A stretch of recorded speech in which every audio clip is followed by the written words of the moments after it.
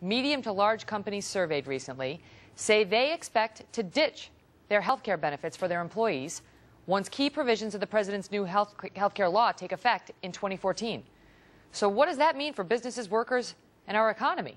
Ben Ferguson is the host of The Ben Ferguson Show, aired through Icon Radio Network. And Simon Rosenberg is director of the Progressive Bank NDN and a former advisor to President Clinton's campaign. Gentlemen, thank you for being here. So, sure. Ben, uh, this is, you know, not what anybody really wants to hear, whether you support the president and this law or not. But the suggestion is that nearly one out of every 10 mid to large-size employers expects to stop giving their employees health care coverage now in the wake and, of this law. Look, and I, I think it's going to go higher because the fines that the president's put in his bill are obviously put there to entice people to get rid of the private sector and jump on this government plan. And that's what a lot of these businesses are looking that? at. They're looking at a cost issue.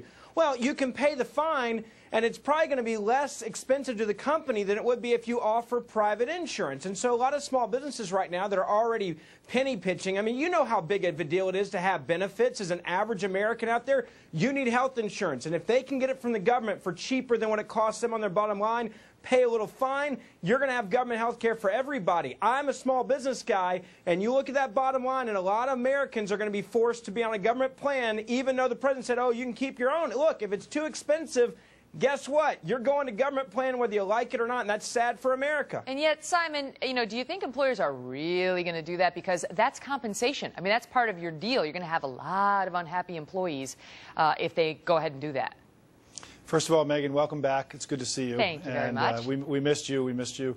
Uh, so I think Ben's wrong. I, I, don't. I think that companies that don't offer health insurance will be at a competitive disadvantage uh, against their competitors.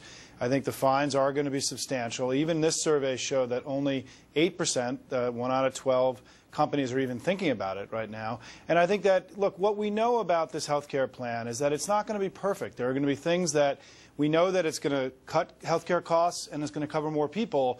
But over the next 10 to 15 years, there are going to have to be tweaks. And if too many companies are opting out, then that will have to be addressed. But I don't think it's as big a problem as Ben is saying. Companies that let that don't offer their own health insurance will be at an incredible competitive disadvantage to other companies that, that don't offer health but insurance. That, but that makes intuitive sense, Ben. That but, makes intuitive yeah. sense. But the question, I guess, is, is that, it, unfortunately, is that no theory, longer the I mean, reality got, in this economy? That you can't, you know, you can't be yeah, a, but you, that, you, um, a beggar can't be a chooser, look, in other words.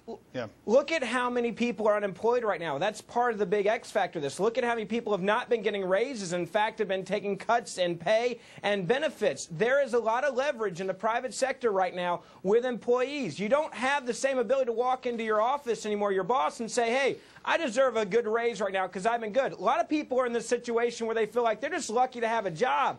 And if an employer says, look, health care is getting too expensive, this is a great way for them to kind of wipe their hands of the situation, go, good news is you're still going to have this government plan that Obama gave you. And a lot of citizens are going to say, I still got a job and I'm happy with that. It's an easy out with the fine for, for these companies to get away from it and save a little cash. And that's not what the system should have done to give everybody really good health care. And I blame the president for it. Simon, to ben, what extent? What should we have done? Let, ben, let me just throw a couple done? numbers at yeah. you, Simon, and, yeah. and I want to yeah. get your response. So sure. it's nearly one in 10 mid to large-sized employers say they expect to off, stop offering health care. Another 20% said that they're unsure what they're going to do. Yeah. Um, but my question to you is, to what extent, Simon, do you think these are just ticked-off employers who don't like the law, who, when given a survey, say, no, I'm, I'm ending the whole thing, but when push comes I, to shove, they're not going to do it?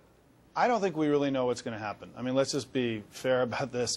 What we do know is that way too many people in the United States today don't have health insurance, and health care is too expensive for everybody. It's going up too much now. This new plan is going to cut costs in health care and expand coverage yeah, but those are just people. talking points yeah. that are that in support of the law. This is what I'm trying to get you to, and the to Congressional focus on. Budget You know, Office I mean, says that's not true. No, no, but if I mean the the employers are going to start cutting our health care coverage, get upset. But there are a lot of employers that don't offer health insurance now, and these are people that are just uninsured. And I think the point is that we made a decision as a country to go ahead with this new health care plan several years ago. No, we which didn't. is going to cover more people. I think we did. It became the law, Ben, unfortunately No, the for majority you. of Americans is that, is said that, they didn't want that, it. Ben, Ben, so we're covering more people and we're controlling costs. Their system But we were is not supposed to be able to keep the, the coverage system, that we Megyn, had. The system Megyn, isn't. the, the, the American people said they did not want this bill, and the, and the facts prove that in the surveys and the polling. The majority of Americans did not want an overhaul of the system. What we should have done, and he asked this question a moment ago, is you fix insurance and have it available at a fair price to people that are uninsured right now. You work with people with pre-existing conditions, maybe. But the president went too far to say everyone one mandates has to have insurance, which takes away freedom of choice. And second of all, we didn't need a complete overhaul. You should have fixed the Okay. small issues and not done it for everybody. I got Simon. I give you the last word. Uh, I I think we're going to have a better health care system. There are going to be tweaks along the way. I'm proud of what the president did. Nice and pithy. Thank you. Thanks, guys. Good to see you both. Thanks, ben, Megyn. Simon, see you soon. Thanks. Well, we've heard countless remarks.